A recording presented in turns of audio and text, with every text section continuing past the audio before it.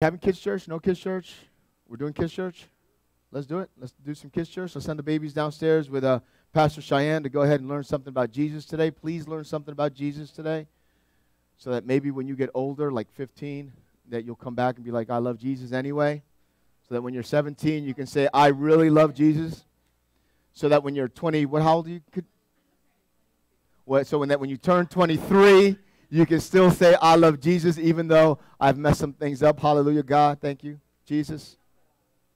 Oh, you want to tell your story for you? I'll let you tell your story. You want to tell my story? You want to tell your story? I can. Because if I tell your story, it's going to sound like gossip. So I ain't going to try to tell your story. Glory.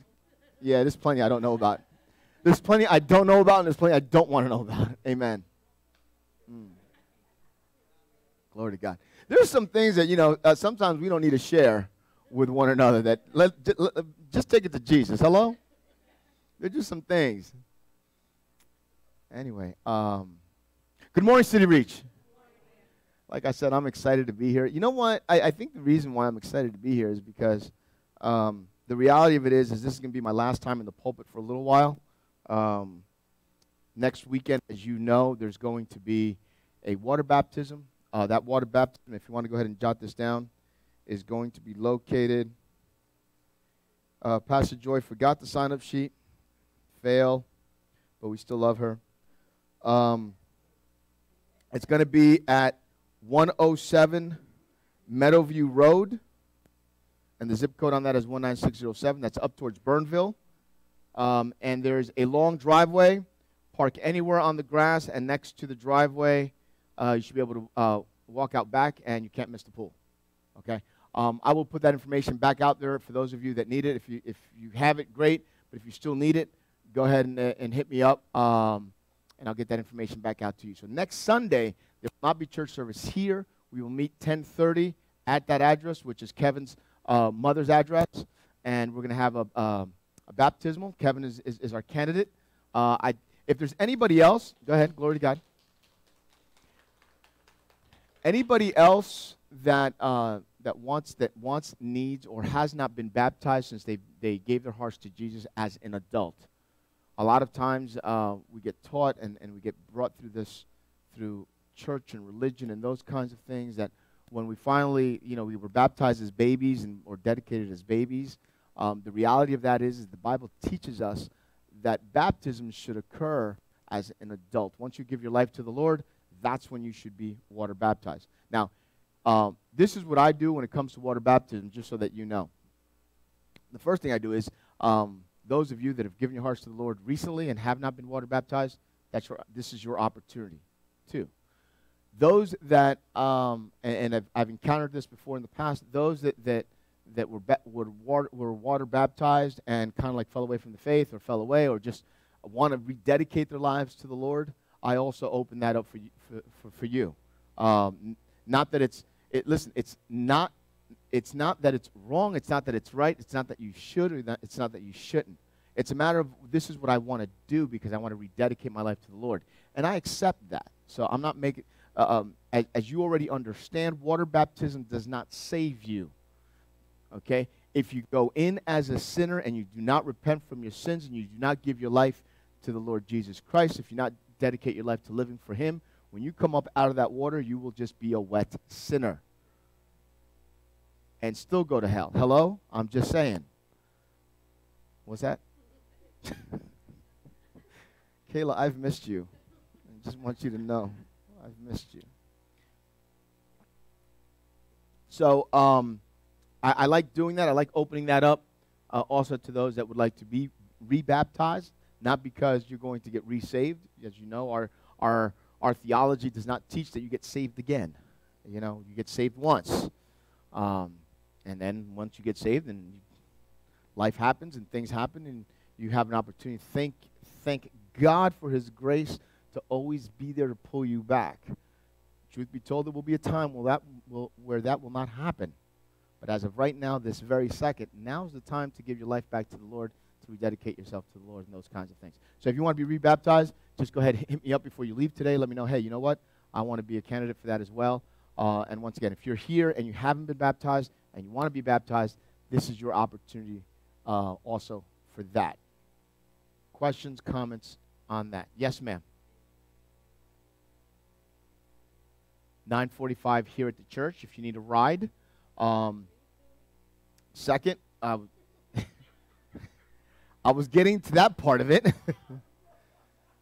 That's why I don't do announcements. That's why I can't stand doing announcements. So, um, so food um, next weekend.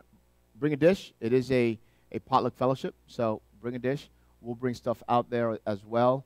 Um, and here's here's the deal. If you bring it, it will get eaten. If you don't bring it, we're gonna go hungry. Hello?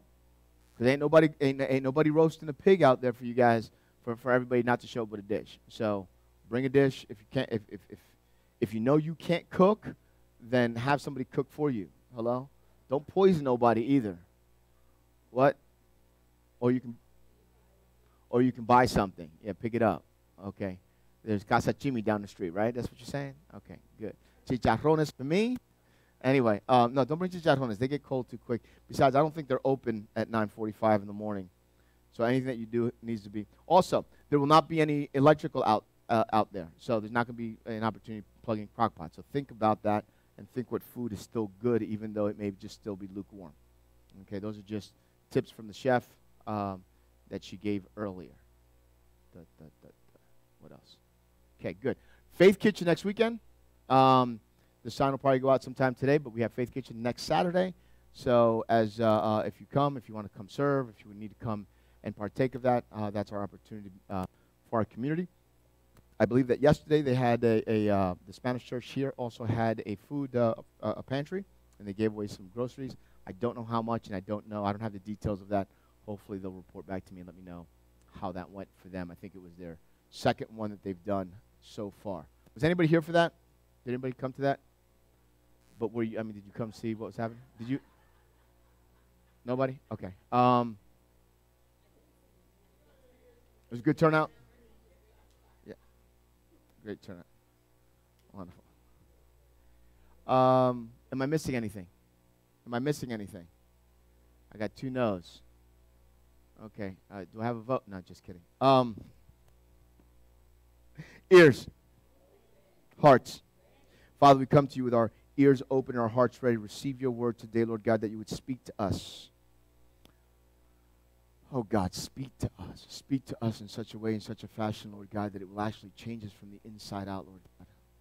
Let us just not be hearers of the word, but doers of the word. That everything that you would say to us, that, that we would be able to just simply obey it. And Lord God, in those areas of our lives that we're challenged not to obey, Lord God, I would pray. I would pray, Lord God, that you would empower us and encourage us and strengthen us to obey your word. In Jesus' name. God's people said, and amen. As you know, we've been in this series called I Worship. Oh, by the way, uh, before I forget, let's welcome our guests. That, and our guests, we have a couple of new folks in the house today. Uh, if you guys would just wave it at everybody so we know that you're here. Guys, go ahead and make them feel welcome. I'm going to tell you, if that's the way, if that's the way you make people feel welcome at a church, uh, I wouldn't want to come back either. So, Tim, please come back at least twice. Okay.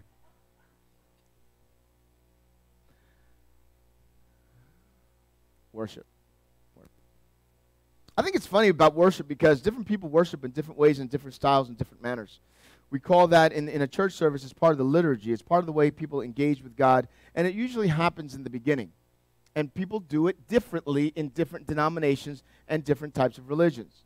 We happen, we happen to do it this particular way where we come together and sing and we pray and we do all those kinds of things and before we move on to this portion of the service we covered that a couple weeks ago as far as why we do what we do. But worship may start with singing, but true worship doesn't stop there. True worship can't stop there. As I've already quoted before from, uh, uh, from A.W. Tozer, if you don't worship six days of the week, you can't call yourself worshiping on Sunday. You can come to church on Sunday if you want, but you aren't, you're not worshiping on Sunday if you haven't worshiped the other six days of the week. I want us to go ahead and pro- I want us to confess a new name for ourselves as far as who we are as Christians. I mean, we call ourselves Christians, we call ourselves believers of the way, we call ourselves believers, we call ourselves uh, um, a bunch of other things that, uh, uh, that denote Christianity. I would like us to call ourselves worshipers. I want that type of tag, that type of that type of identity to stick with us. That we understand that worship isn't just what we do on a Sunday morning when we lift up our hands and we clap and we sing and we and we bang them tambourines. Oh God, those or, or, or, or um, I know. Sure does. But worship doesn't isn't worship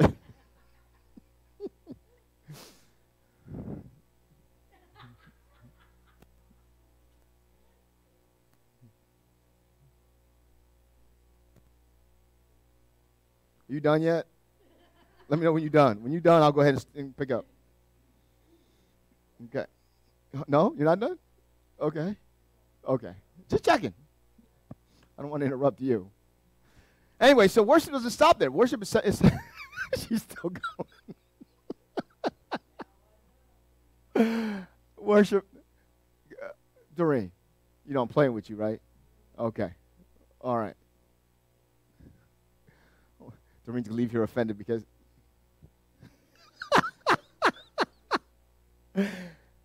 Worship. Worship. I, I, I'm, I'm there somewhere in the thought of worship. But worship, we have to understand that worshiping is not just what happens in an hour, what happens in two hours. As a matter of fact, this, should be, this is a very small par- portion of what we should be calling worship. Worship should be a lifestyle. Worship should be everything that we do in our lives. When we consider God first in everything that we do, worship. It becomes worship when we go to school. It becomes worship when we go to work. It becomes worship when, when, when uh, uh, our kids are acting up. It becomes worship when our parents are acting up. It becomes worship when, when you get cut off in the middle of the road. Listen, if you get cut off and you throw the, and you, and you tell them that they're number one with the wrong finger, that's not worship.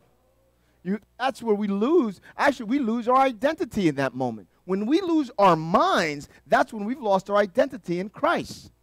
So if we're worshiping and we're actually considering God first in everything, then those moments, when we have those moments, we're able to come back and be like, oh, God, I screwed up. Help me not do that again. Help me control what's happening that's coming out of this mouth. Work in my heart so that my heart then can be changed and converted so that the, the confession that comes out of my mouth is truly what's in my heart. Come on, somebody. Am I talking to anybody yet? So, worship. So, worship can't stop there. Intimate worship with God breeds both Christianity and active believers. When you're intimate with God in your worship, you become bold as a Christian. It's something about knowing who your Father is, knowing that He is the King of Kings and He is the Lord of Lords, knowing that He is the Creator of the universe, knowing who He is and then who you are to Him. Just bold. It, it makes you bold. Now, I'm not talking about cocking. I'm not talking about being conceited. I'm not talking about any of those kinds of negative things that come with it. But I'm talking about just the confidence of knowing, you know what? I was, uh, I was talking to somebody today, and, and they were telling me about their situation. I was like, you know, I don't get it. But I do know one thing that God is still the God of the impossible, that God is still the God of, of, of miracles. He still performs miracles today. Come on, somebody. Anybody in need of a miracle right now? Come on. Makes you bold to say, you know what? I believe God.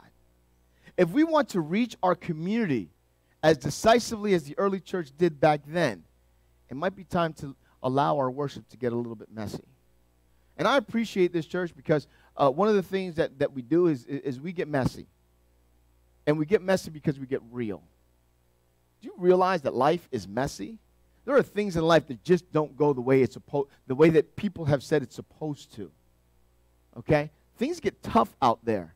Things get dirty out there. People get hurt out there in all kinds of ways. I don't know about you, but I, I have not yet to meet a perfect person yet other than Jesus Christ himself. And even then, if you look at his life, his life was messy. You know why? Because he was involved with messy people. So if you're trying to clean it up, if you're trying to make it perfect, don't make it perfect. Just make it righteous. Make it right in the eyes of God. Let that be your worship. I think I just preached my message for today. Let's go home. Nope, got another hour. after the notes. I'll make sure I get you all the fill in the blanks. So, what kind of church are we? Our balance may very well affect our reach. Our balance on how we do church, on how we, on how we, on the balance that I'm talking about is, is what we do here on a Sunday morning and then how we live our lives. That's going to affect our reach. Because if we're doing it here one way and we're getting all pretty and dolled up and we smell good because we, we at least wash once a week, hello? Just to come to church. Oh, that's just me? Okay. So, but the reality of it is, do we live it like that? Are we that, are, are we that person? Because if we're living the way we're worshiping, then the reality of that is, is that we should be able to reach the entire world. We should be able to reach this community. We should be able to reach past this city. We should be able to reach this county. We should be able to reach the state. And I'm not just talking to us. I'm talking about the church overall. I'm talking about the Christian church overall. It's not just it's just not us this little group here at City Reach Church. This message is for everybody that calls Jesus Christ their Lord and Savior. If we worship, if we live the way we worship, there would not be a problem in politics that could not be fixed. Hello? Because everybody would be looking towards God for the answer rather than to themselves. Rather than to their itching ear or to whatever it is that they want to hear or, or to whatever politician is going to go ahead and rub you the right way or the wrong way. Ain't nobody talking to me now when I, when I get on that bandwagon, huh? So, last week, What I am hoping about today is that this message, we care, we care, will challenge us to look at what maturity of the faith really is and how caring for others can expand the kingdom. I discussed it last week as far as we need to get better in caring for one another.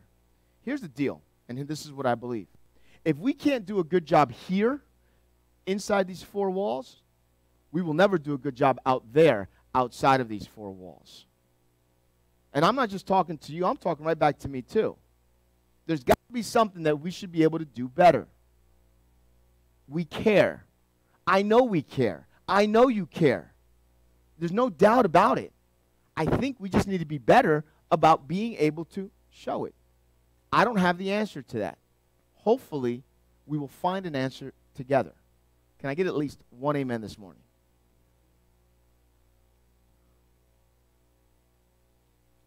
So last week we started to talk about why we serve and why we do the things that we do.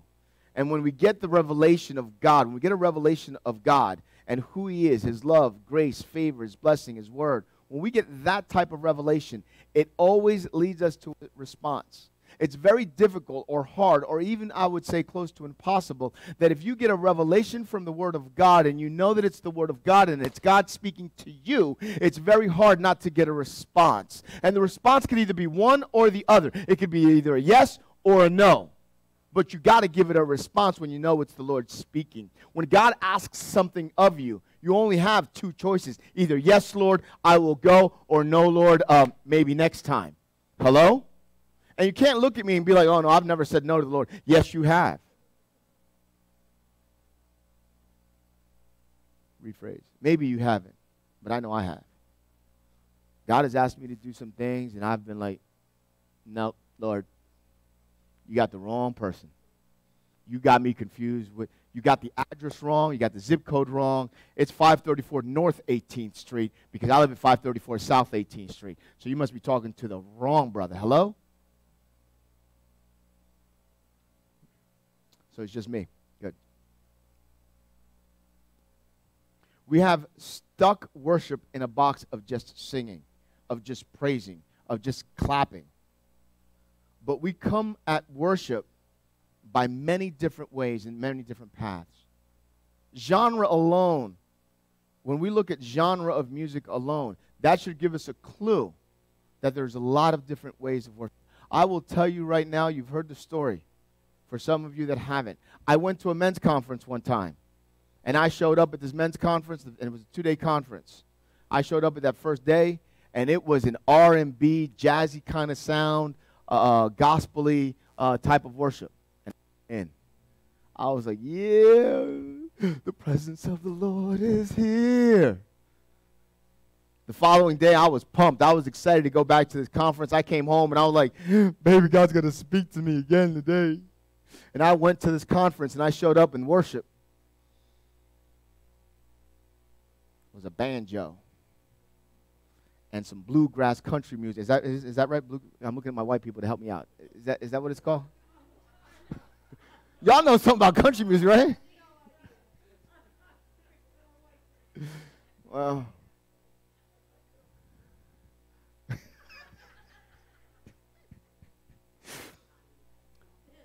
So they turned around and were playing some country music, moving quickly.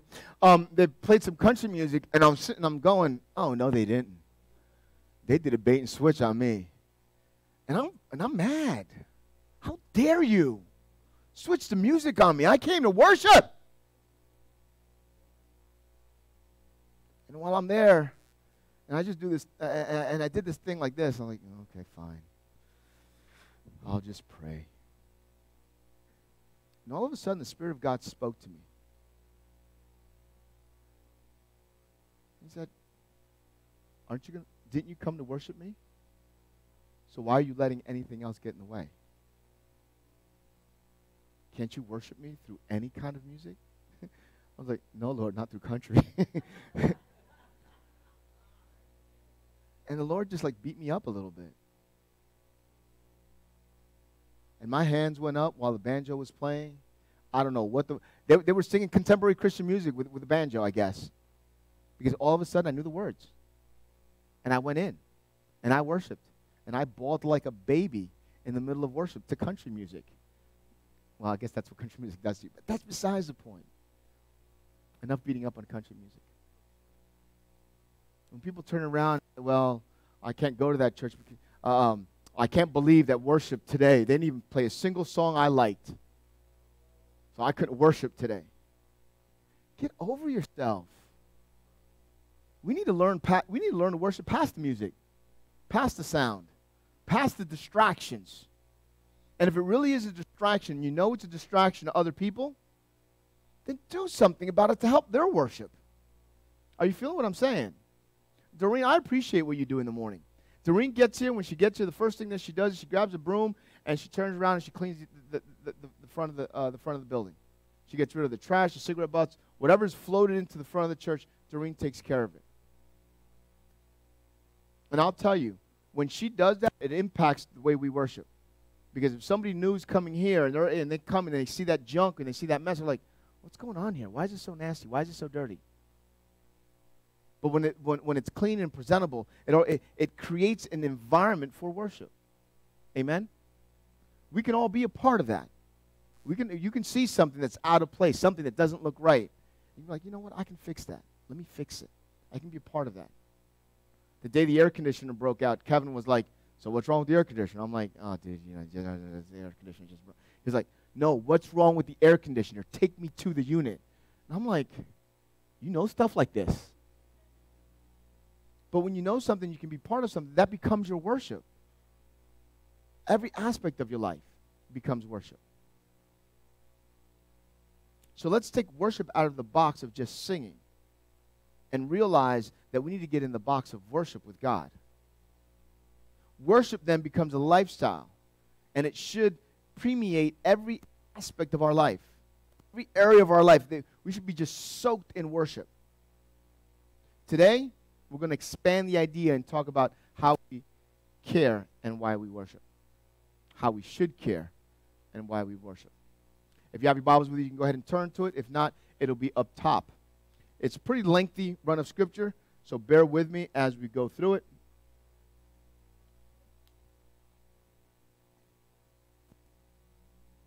Acts 6, chapter 6, starting in verse 1. I'm reading out of the New International Version.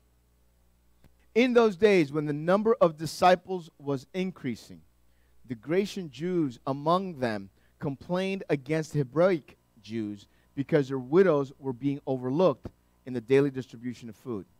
Is it up there? I see some eyeballs. Okay, good. In the daily distribution of food. So the twelve gathered all the disciples together and said, It would not be right for us to neglect the ministry of the word of God in order to wait on tables. Brothers, choose seven men among you, from among you, who are known to be full of the Spirit and wisdom. We will turn this responsibility over to them and will give our attention to prayer and the ministry of the word. This proposal pleased the whole group. They chose Stephen, keep Stephen in mind, we'll talk about him later on, a man full of faith and the, of the Holy Spirit. Also, Philip, Prochorus, Nicanor, Timian, and Parmenius and Nicholas. Nicholas from Antioch, a, con- a convert from Judaism. They presented these men to the apostles who prayed and laid hands on them, so the word of God spread. The number of disciples in Jerusalem increased rapidly, and a large number of priests became obedient to the faith. If you have your fillings, number one, the needs were greater than what the leaders could handle. There's times when there are needs that the leaders just can't handle. And then it becomes a choice. This need isn't going to get met because there isn't someone to take care of that need. Are you tracking with me at all? Their worship had growing pains. Fights were happening, and the Grecian and Hebraic Jews were fighting against one another. There were issues. The early church wasn't doing everything perfect, it was kind of messy and wild. Yet people were getting saved and miracles were happening. Remember, 3,000 came to know the Lord in one day. Could you imagine what it would look like to just have 20 people show up right now and get saved? To have to deal with discipling 20 right from jump? I could I can't handle that by myself. I can handle one, I can handle two. I can walk through those basics. We can deal with all the other stuff, but when babies come, how many of you got babies? How many how many raised some babies? They're pretty messy. Okay? Okay, if you didn't raise babies, have you at least ra- raised a puppy? I think puppies are worse than babies. Puppies are a mess. You got to get up at all kinds of all kinds of hours of the day just to get them outside. And then if you try to put them in their kennel, they're shut up, go to sleep. A baby's the same way. You change its diaper, you feed it, and it's looking at you going, uh-uh, it's time to play. Like, no, not at 3 o'clock in the morning, it's not. Next time, I'm going to leave you there with your Pampers and see if you can go the eight hours. Hello? But you don't do that. You don't do that. Why? Because you got to take care of your babies. We got to take care of our babies. And it's more than just one person. And I get it if you're a single mom and you're a single dad and you're alone and, and you, you got to do what you got to do. I know that with, with, uh, with Eli uh, uh being a baby, it, eh, there were times where, where, where all, all that happened at 3 o'clock in the morning was me go like this hey, get, it's crying again. Your son wants something. It was always her son up until he messes up. Now he's my son.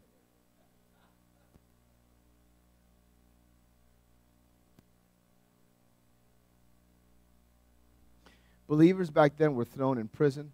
They were threatened. They were beaten. They were filled with the Holy Spirit, and they also they were baptized. Isn't that amazing?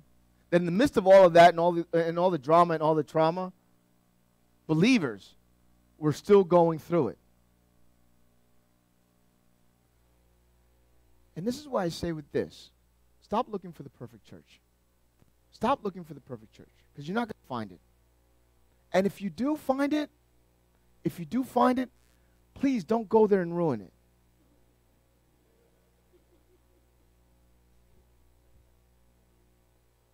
Told you, I'm not going to be in the pulpit for a while, so I'm going to have all the fun I can have. When you have a church that's going somewhere and doing radical things, it won't be perfect all the time. We do need to have some things in place to make sure that we can handle whatever growth God brings our way.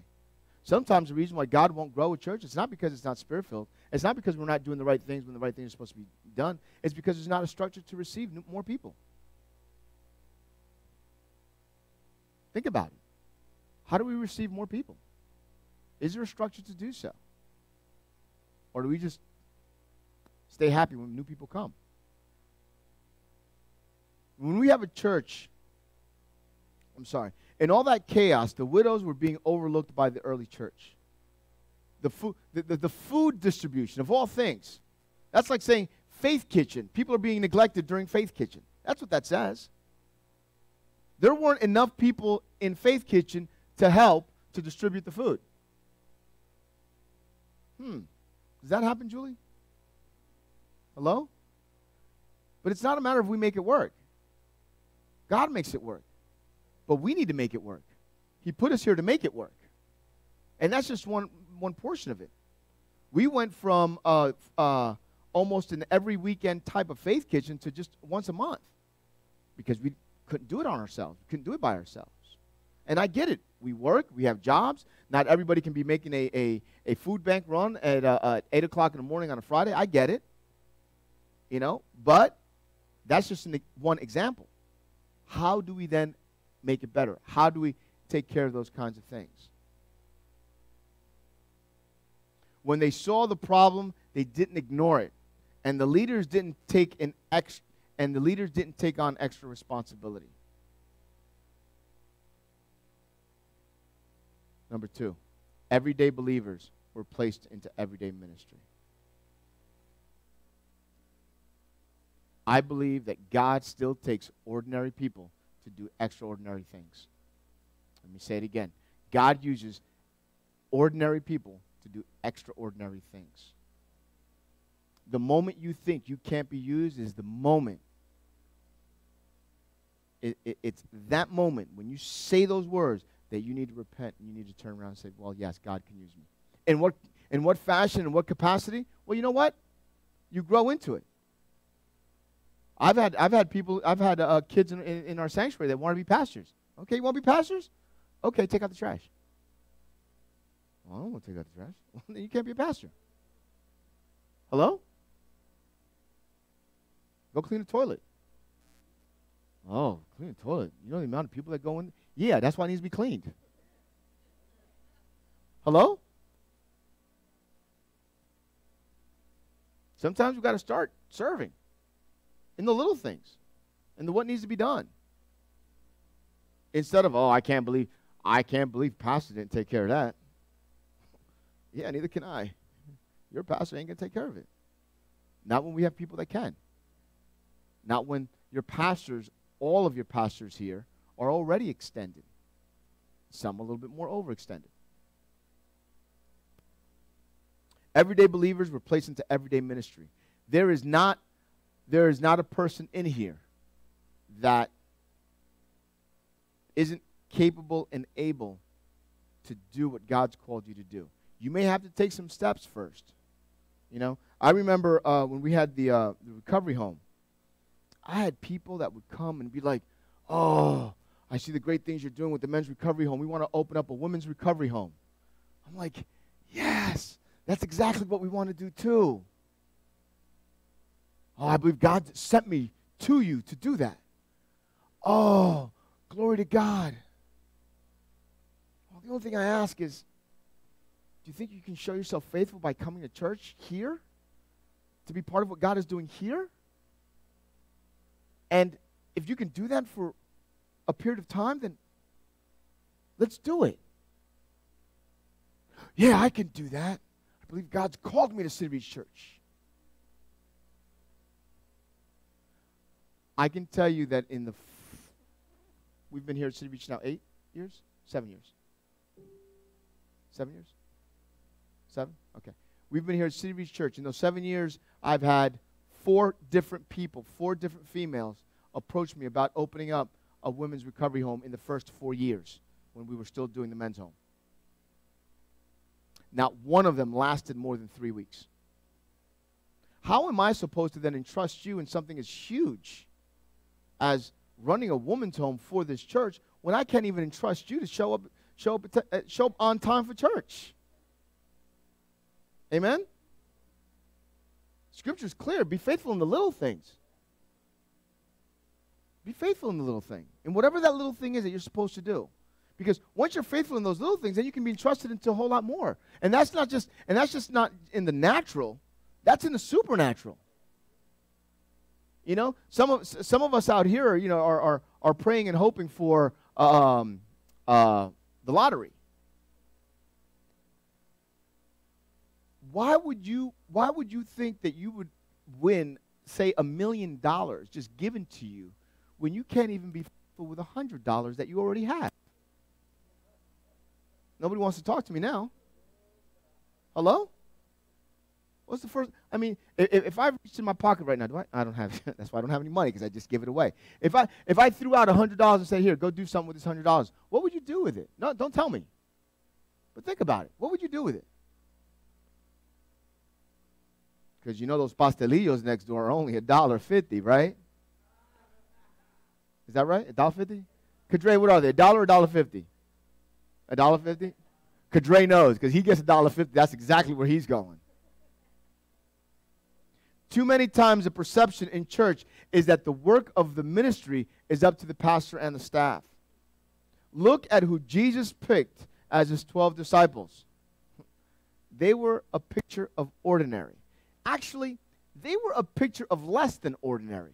Because if you've sat through um, any of my teaching as far as the disciples go, you would understand that these, these were teenagers that had been rejected. These were teenagers that were, that were overlooked for, the, for, the, for a pastoral ministry. They wanted to be rabbis, they wanted to be teachers of the law, but they didn't make the cut. And Jesus still picked them.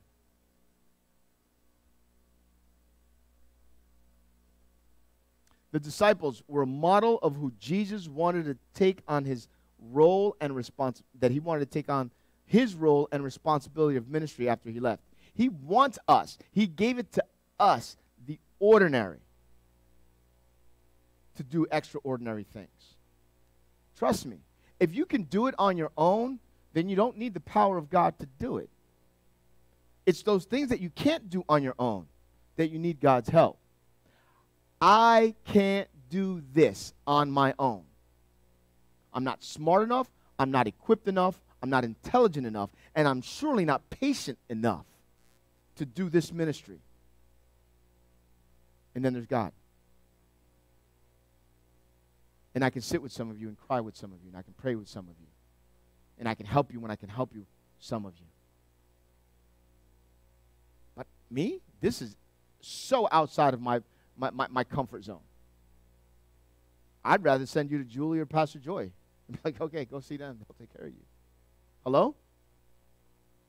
I'm glad nobody said amen to that. Listen to, listen to how different Acts 6 3 Listen to Acts 6 3 here. Seven men of good and attested character and repute, full of the Holy Spirit and wisdom. That's the amplified version. Now listen to it out of the message. It says, Seven men whom everyone trusts. Or the New Living Translation says, Seven men who were all respected. You know, uh, uh, and, and, I wasn't going to bring it up, but, but, but I'm going to bring it up. Uh, Dealey, Danny Lee, comes to me. Daniel comes to me today. He's like, oh, Pastor, I want to do this thing on Friday night. We should do a worship night on Friday night. I'm like, yes, we should. Let's talk about it. Are you going to make an announcement about it? No. We need to talk about it. Hello? Not to pick on him, but I'm going to anyway because he's here today. I think that's as far as I'm going to pick. Do, do you understand? Yeah, let's do it. Let's go. Let's whatever we got to do. Let's do it.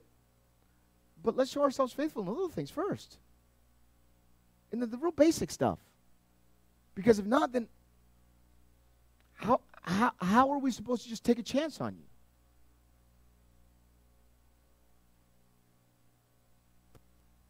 I give you $100. What are you going to do with it?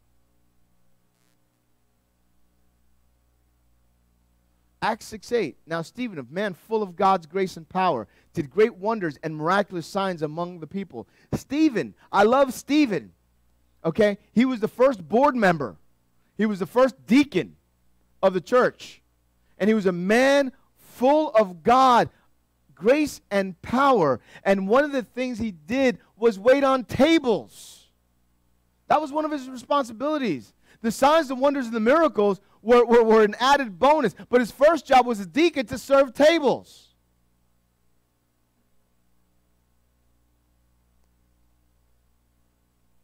Stephen was basically a waiter. When we serve, care, and worship by putting action to our faith, we can do it supernaturally.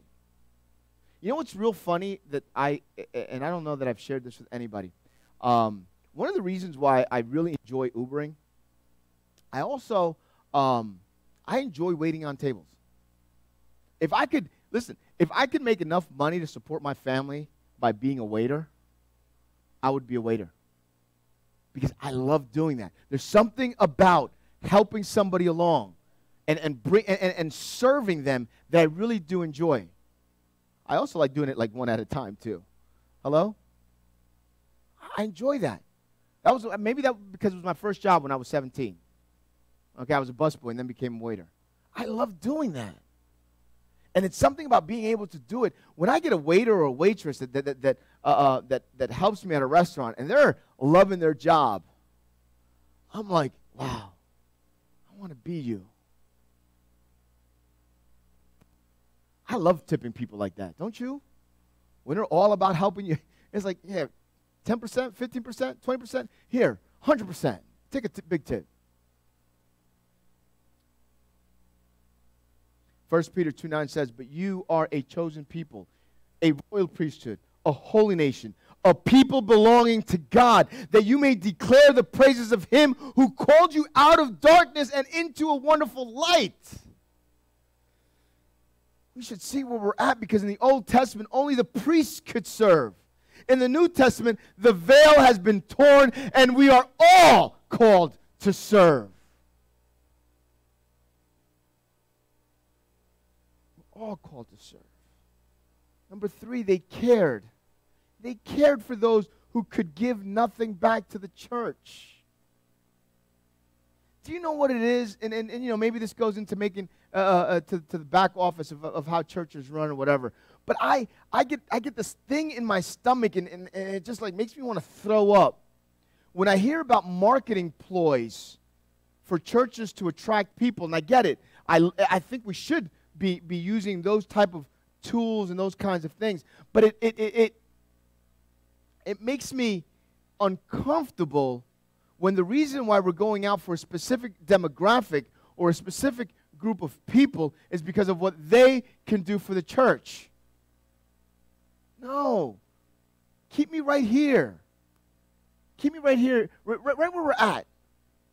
Because whoever walks through those doors, whoever comes through those doors, I'm not expecting a thing from you except for you to get closer to God. I do have that expectation. I have an expectation that when you come through these doors, that you're going to meet God, that you're going to give your life to God, that you're going to serve God, that you're going to be better off because of God, that you, heaven's going to be your home, and we're going to be able to celebrate it together. That's my expectation for you, from you, when you come through these doors. Everything else, my Father, Something about an owner of a thousand hills and the cattle that are on it. Hello? Something about having everything in control and being the God that created everything and being able to, to handle all of our issues. And I, that's the God I serve. So that's one of the reasons, that, and, and, I declare this and I say this, and I'm proud. And yes, I'm proud to say this. I will boast about this because I'm proud that we are able to, to continue. We've done, been doing it for almost a year now with the offering baskets in the front and in the back. And we don't pass those things around. I mean, think about it. Every church you go to, here comes the usher.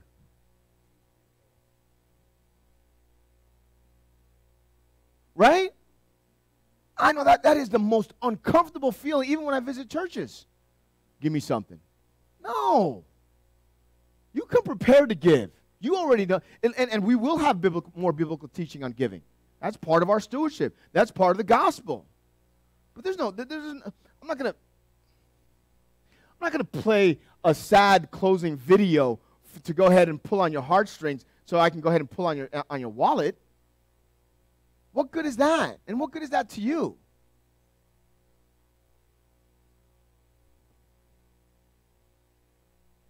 It's not what people can do or give. We don't go after those folks. Go, we go with the mindset of, you know what? Come, worship, grow closer to God. When you're ready to, when you're ready to do whatever it is that, you, that God has called you to do, what your biblical responsibility is to do, God will reveal that to you and you'll do it. This, this doesn't have to be a, a, a beg session. You know, yes, will we have will we have campaigns where we need to raise money for certain things like for Faith Kitchen? Yes, of course we'll have those things so that people can go ahead and get connected to those things. Absolutely. But I'm not going to play a, a, a, video of some uh, kids on the street of Dominican Republic just so you can go ahead and, and uh, uh in the country of Dominican Republic, I mean, in, in the countryside of Dominican Republic because some of those kids in Santo Domingo living really good. But that, those are besides the point. I'll, I'll take you to the deep woods so, so that I can go ahead and, and show you the little naked babies with, with all kinds of fleas and flies flying all, all over them so you can go ahead and give to that. No, I'm not going to do that.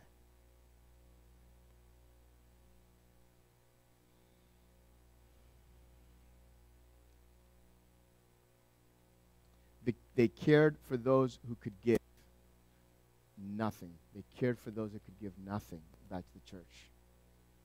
Who was overlooked? The widows. Their goal was to include everyone on their journey.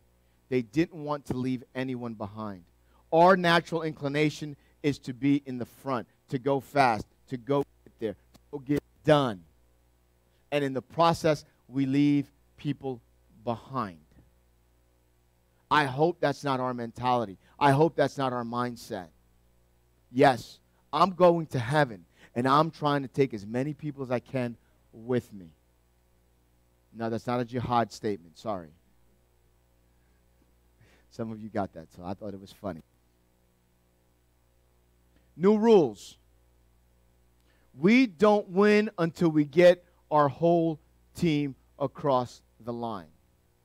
We don't win until we get our whole team across the line. We have to have a mindset of no one's going to get left behind. We have to have that inclination.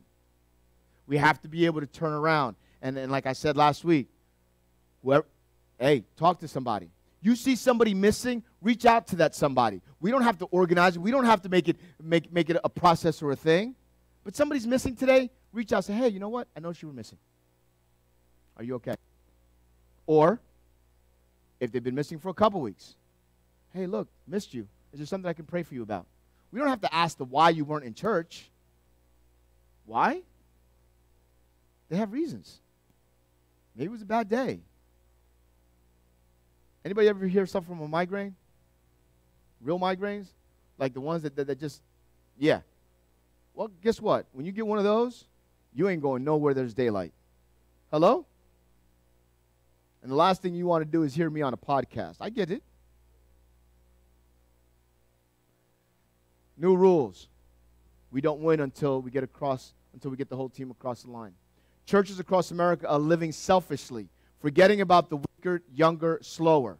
Their mindset, there's a mindset that believes we are the mature and the brave few men and women, and we will forge ahead at whatever cost. This is wrong. It's up to us to help each other get across the finish line. Let's go in. We're going to review this diagram. And this big circles. You have multiple colors in the circle. The outside represents people in the lost world.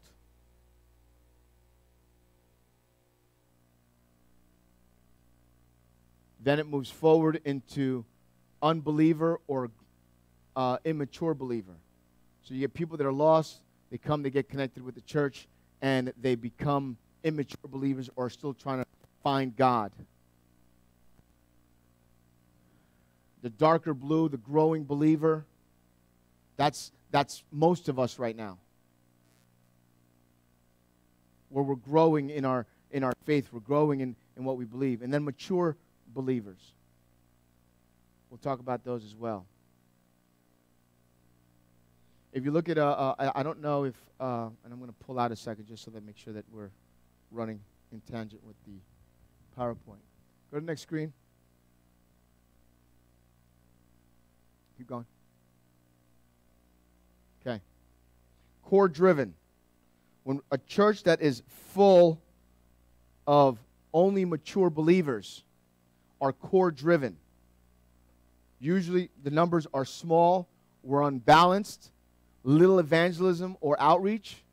We're strong and long teaching. uh, you, you, know, I, I had a, I, I had my issues with this because we teach good up in here. I think we teach well. We may not know English, but we teach good. We go, we're going deep. Going deep is the goal. And here's the part that breaks my heart self focused and self serving. Gifts of the Spirit flow freely, and we're decept- deceptfully, deceptfully immature. In other words, we think we're mature, but we're really not. Seeker driven, the other extreme. This, these are large attendance churches. They're also unbalanced. Their maturity is low. They're entertainment driven. It's all about the show. Their services are shallow. The gifts of coffee flow freely. But they're outreach minded. We want these two to be brought together and be balance driven. We want healthy, continual growth. We want a culture of spiritual growth, a culture of numerical growth, and outreach minded. We want to be involved in the community. That's the direction that we're heading in. Wherever it is that you see us in those circles is less important than where we see ourselves in the future. I believe that our teaching, I believe that our community service is leading us towards being a balanced church. Am I making sense? Am I on track to where we want to be as a church?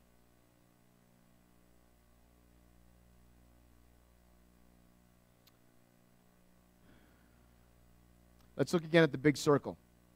The outer circle, these are people in receiving mode. The middle circle, these are people who are still receiving but are growing and beginning to worship through service.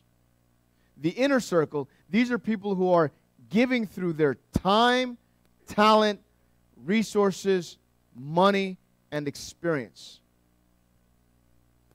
So the question comes down to a simple one What is maturity, or what is it to be mature? Jesus says this in John 15 13. He says, Greater love has no one than this, that they lay down their life for his friends. That's a sign of maturity. Mature is living beyond self. Mature is getting up early or staying up late to pray and read your Bible. Mature is giving, giving up a Saturday to serve at Faith Kitchen or hand out flyers to invite others to church. Maturity asks, How can I serve instead of being served? Maturity says and sees a need and meets it. Maturity is living your life for others, giving of your finances and your own wants and needs to help someone else. Maturity is stopping in your busy day to do a random act of kindness. We did a study one time called Contagious Christian. We may go back to that in the future because it talks about how is it that we can just do a random act of kindness. You need zero resources to do an act of kindness. Ralph and Janet, you are my king and queens of random acts of, of kindness. The way you love on people, that you're just, out of whatever resources you have or don't have, you still find a way to show love to people on their special day and their special time.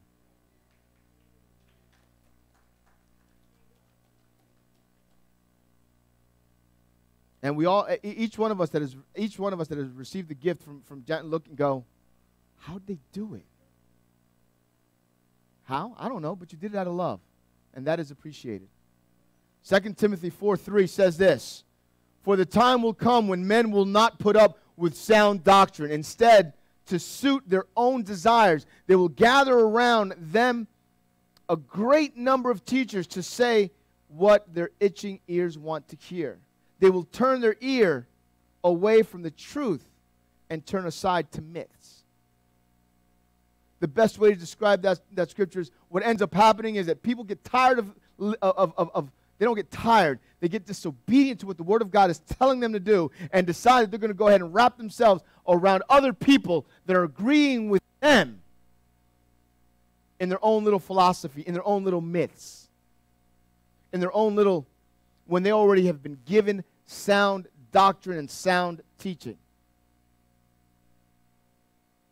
I still believe to this day that right teaching brings out right believing which in turn makes us uh, uh, turn out with right living. If you're getting taught right and you're believing right, you're going to live right. Hello? So let's get back to the text. Be done. The results then in Acts were explosive. Number four. The results were explosive. Acts 6 7. So the word of God, the number of disciples in Jerusalem increased rapidly and a large number of priests became obedient to, to the faith. The word of God spread. The numbers of disciples increased rapidly. A large number of priests became obedient to the faith. Listen, when we're talking about these priests, we're talking about Jews that became obedient and receiving of a Messiah. That is huge. They woke up from their religious mindsets and, and, and embraced a living Savior. Enemies of the message of Christ became advocates.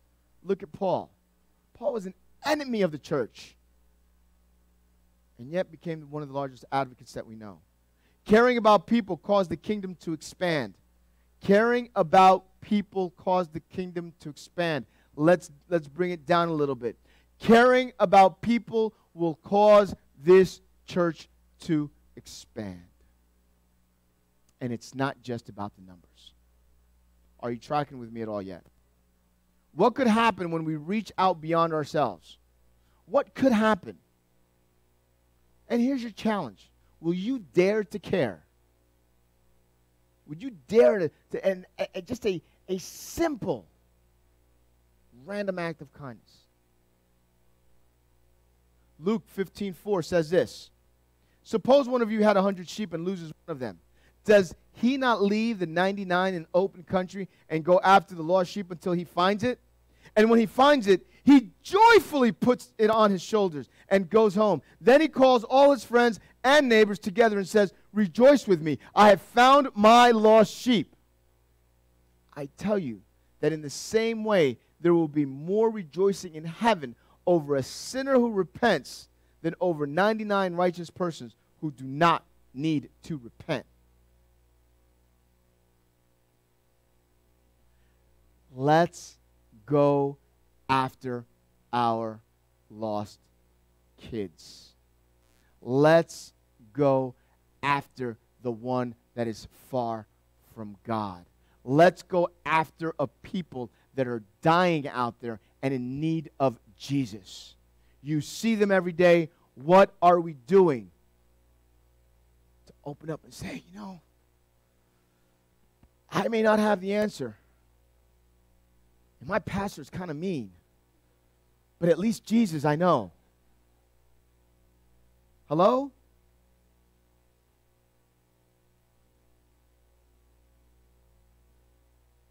I don't know the answer, but I know he that does. Let's passionately pursue reaching the lost and the unchurched. If we aren't reaching lost people, then we aren't fulfilling our purpose and our and the and the great commission. We're just not doing it. We must have a culture that embraces those without Christ. I'll put it out there to you. And maybe we need to, to form, maybe we need to have uh, some meetings and talk about this. But how do we get better with that? Uh, what is it that we can do in this church to create a culture for that? I'm not talking about dumbing down the word. I'm not talking about, I'm not talking about those kinds of things that, that, that, that, that, that make it pretty. But what could we do? What could we do better that we can embrace this culture that doesn't have Christ? We cannot win the lost if they don't ever come to church. We can't reach the lost if we can't get them into the church. Most of us aren't evangelists. Aren't evangelists. We can do the work of the evangelist, but most of us aren't evangelists. The other thing, we can't reach the lost if they're not coming to church. And how can we re- reach the lost if we're not coming to church? Y se acabaron, amen. That's the reality.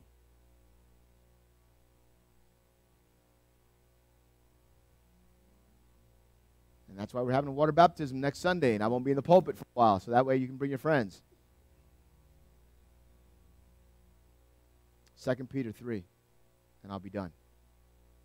The Lord is not slow in keeping his promise, as some understand slowness.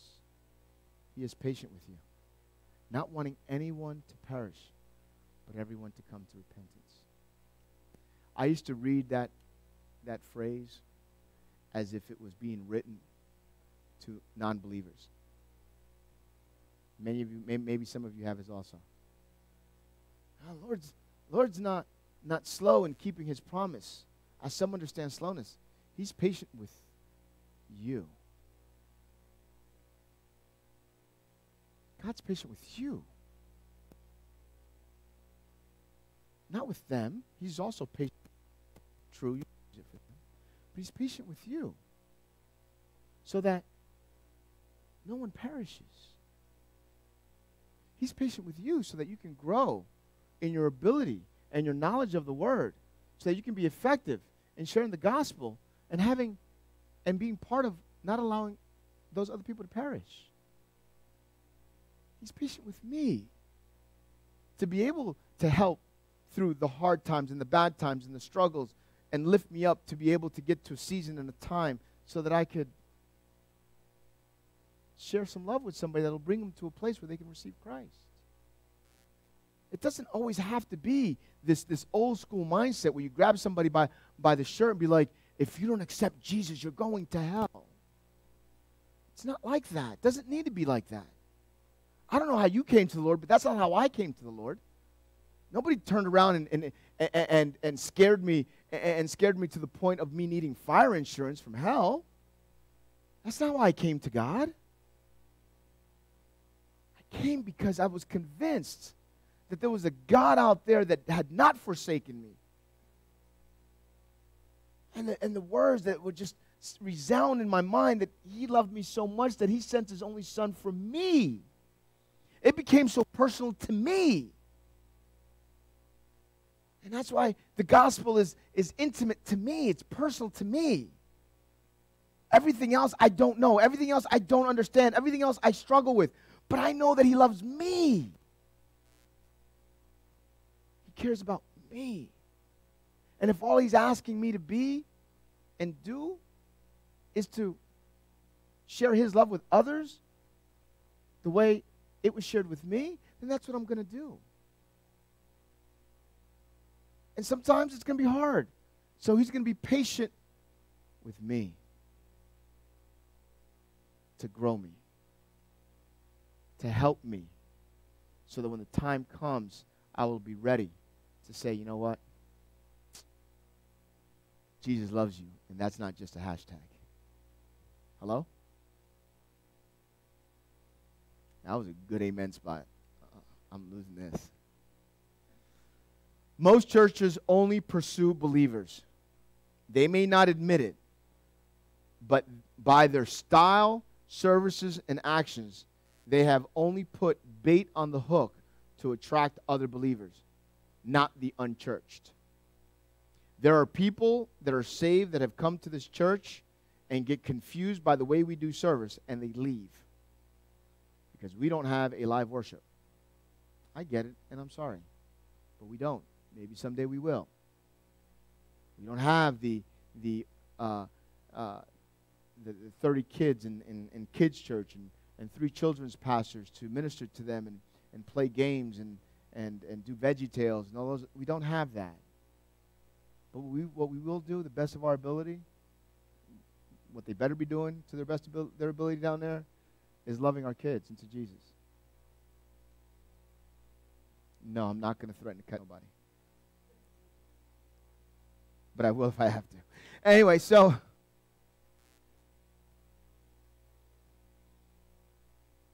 when our passion is to pursue the unchurched, we will attract them.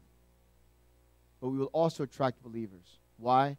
Because they want to be a part of something that is making the difference in the community and the kingdom of God.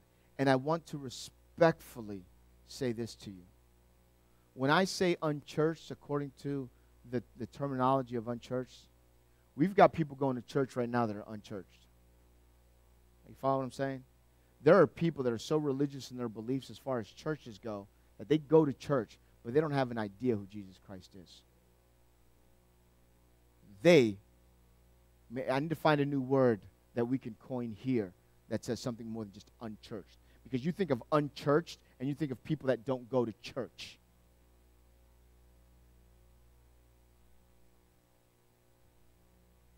We are the United States of America. We are probably the most churched nation in the world. And yet, Africa, Africans are coming to this country to evangelize us. That's sad that there are missionaries. I've met missionaries from other countries coming here to evangelize in the United States when we were one of the major missionaries sending people across the nation. Don't get mad at me, it's still the truth. I met people that can barely speak our language trying to tell us about Jesus. What's wrong with us? And I say us, not just this church, I'm saying us as a Christian church, as the global Christian church. I think I'm going to lose a whole lot of YouTube followers on this message, but that's okay. I didn't have but two anyway, so it doesn't matter. You get God's undivided attention when you become passionate about reaching and finding his lost kids. Why? When you fall in love with God, you will also, and put it like this you will begin to love the things that the person that you fall in love with loves. Example my wife and I. When I first met her, she had a son. Still has that son. He was four or five years old. Truth be told, I didn't want nothing to do with no kids. That was the reality of it.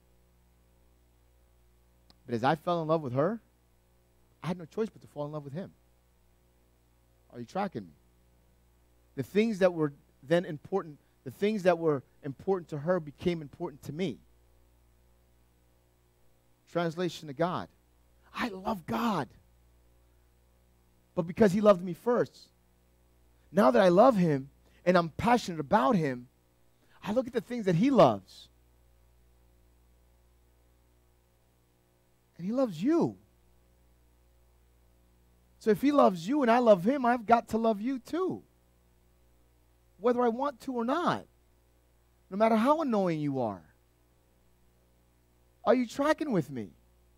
Wait, wait, wait. But if he loves you, he also loves the lost. And he loved them so much that he gave his only son for them. And, and then he tells us that he's patient with me so that I can love them too. And I love him. He loves them. So guess who I got to love? So it doesn't matter if they're white. Doesn't matter if they're black. Doesn't matter if they're yellow, green, gay, trans. It doesn't matter what whether they, they, love Trump or they hate Trump. Doesn't matter if they like uh, Biden or dislike Biden. Doesn't matter. Doesn't matter what their religious affiliation, what their background, political beliefs are. Doesn't matter. What matters is that He loves them, and because I love Him, I have to love them.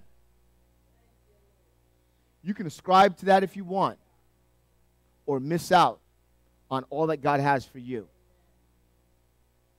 If you don't believe that for yourself. I'm done. I went over, way over, more than over. Um, Tim, I want to lie to you and say, you know, my services don't, my preaching doesn't normally go that long. I really want to lie, but I can't because everybody else will tell on me if I try.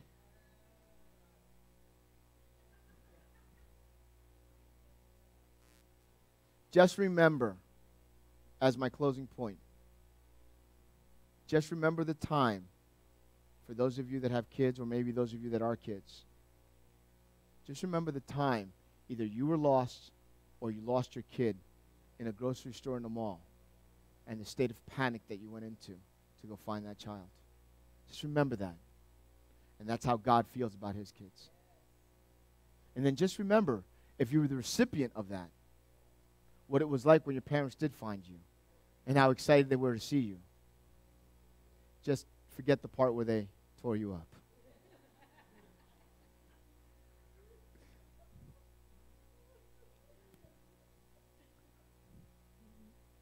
My wife hates when I do this.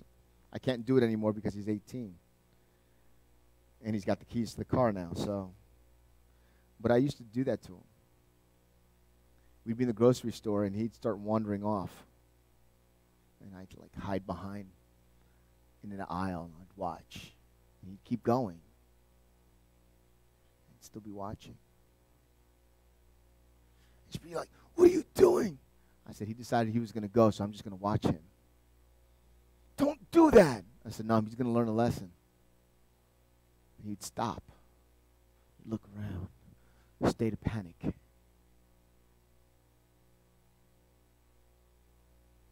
In my case, I would be forced back into the aisle and be like, hey, kid, here I am.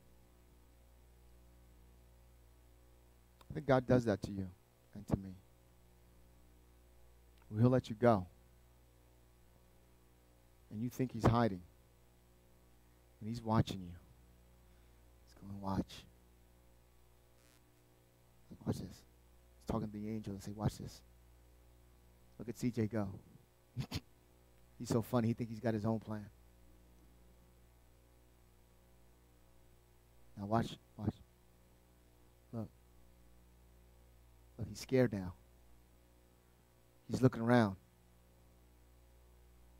Okay, here I am. And he pops up. Just in time to just get rid of all those fears and to give you that sense of security all over again. And me, I end up crying and running back.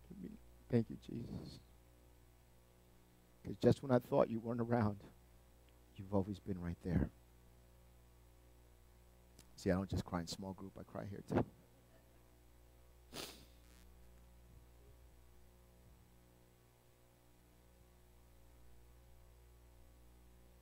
Let's intentionally be a balanced church. Let's go after that mindset. Let's go after that vision. That's what we want. That's what we should be. It is important to cross the finish line together as a church. Just because we're trying to be a balanced church means, because we're trying to be a balanced church, it means that we leave nobody behind. Just because you think yourself to be mature and you get in that inner circle doesn't mean you won't pop in and pop out of that maturity circle. And it doesn't mean that other people around you can't help you. If you consider me in that maturity circle, I still need help too. I still need accountability. I'm not perfect. So don't turn around and take your pastor and put him on some type of pedestal like, oh, he's got it all together. The last thing I've got is together. I'm just another beggar trying to show you where the bread is. God uses the average. That's why I'm here. In my case, below average. He picked ordinary men to do his disciple to be his disciples and to carry out his ministry. Caring about the community will have an explosive result on this church and the kingdom. If there are other ways for us to reach this community or our community as a whole, And when I say community, community doesn't have to be the, the, the three blocks around this church. Community can be anywhere you find yourself. Your community can be your, your, your, your, um, your customers, where you work. Your community can be the people that are, are, you're surrounded with as far as where you teach. Your community can be the, the involvement you get around doctors. Your community can be, in our case, our community is, is, is the area where we work out at and the people that, that come around. Your community. Your community doesn't have to be the three blocks around this church. This is a community, but it's not the only community. Hello? So just because you don't you, you can't come out here and start handing out flyers and go door to door or any of that kind of stuff doesn't mean that there aren't people around you that don't need Jesus. God has specifically placed you exactly where you're at for this time and for this season to be an impact where you're at. Amen. Please stand. We'll be done.